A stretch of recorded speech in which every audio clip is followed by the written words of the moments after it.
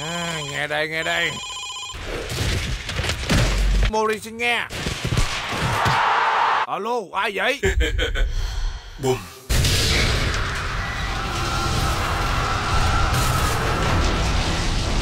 Ngươi là ai hãy nói mau. Nếu ngươi tự nhận mình là một thám tử lừng danh Thì bắt ta đi.